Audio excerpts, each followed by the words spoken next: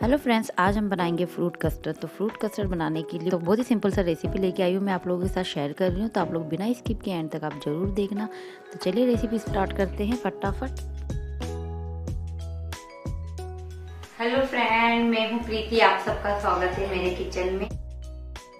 तो फ्रेंड्स यहाँ पे हम गैस पे एक पैन चढ़ा देंगे और उसमें मैं दूध ऐड कर दूँगी। दूध यहाँ पे मैं आधा लीटर से कम ऐड कर रही हूँ और इसको हम चलाते रहेंगे ताकि पैन से ना चिपके और एक उबाल आने का वेट करेंगे।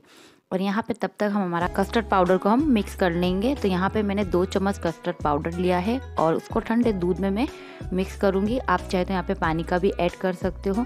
और अगर आप यहाँ पे आधा लीटर दूध का बना रहे हो तो यहाँ पे चार चम्मच आप कस्टर्ड पाउडर ऐड करें।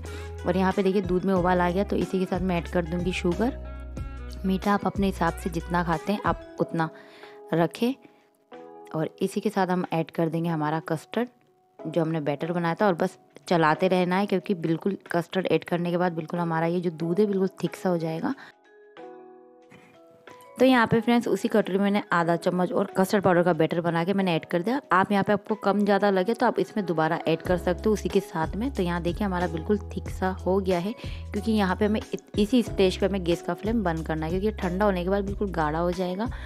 तो यहाँ पे मैं इसी के साथ जो वेनिला एसेंस होता है, वो मैं ऐड कर फ्लेवर के लिए आप यहाँ पे इलायची पाउडर भी ऐड कर सकते हो। अगर ये ना हो दोनों तो कोई बात नहीं, आप स्किप कर सकते तो बस जब तक हमारा कस्टर्ड ठंडा हो रहा है तो हम यहाँ पे फ्रूट कट कर लेंगे। पहले से अगर आप ये बनाना वगैरह कट करोगे तो ब्लैक हो जाएँगे। तो हम कट करके इसको फ्रिज में रख देंगे और यहाँ पे मैंने थोड़े ड्राई फ्रूट कट कर लिए हैं सारे। और ये देखिए हमारा बैटर जो है बिल्कुल ठंडा हो गया है। अब मैं इसको एक बाउल में ट्रांसफ़र कर लूँगी और अब ऐड कर दूँगी सारे हम फ्रूट्स ऐड कर देंगे। आपके पास जो भी फ्रूट आप सब ऐड कर सकते हो। जितना फ्रूट ऐड करोगे, उतना ही हमारा कस्टर्ड खाने में बड़ा मज़ेदार बनेगा।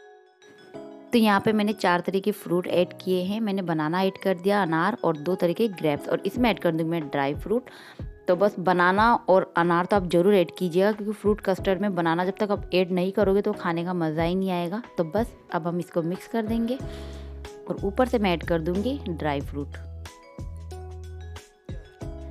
तो बस अब ड्राई फ्रूट ऐड करने के बाद हमारा कस्टर्ड देखिए बन के रेडी अब इसको हम ठंडा करके खाना इसको हम इसको फ्रिज में ठंडा होने के लिए आधे घंटे के लिए रख देंगे और ये आधे घंटे बाद मैंने निकाल लिया है। तो देखिए हमारा कस्टर्ड बन के बिल्कुल रेडी और कितना अमेजिंग लग रहा है ना। देख के मुँह में पानी आ रहा है बिल्कुल थिक सा, ना ज़्यादा पतला, ना और ज़्यादा गाढ़ा। बिल्कुल इस तरीके से कस्टर्ड हो तो खाने का मज़ा ही कुछ अलग है। और खाने के बाद आप बिल्कुल ठंडा वाला कस्टर्ड खाए तो मज़ा ही आ जाएगा।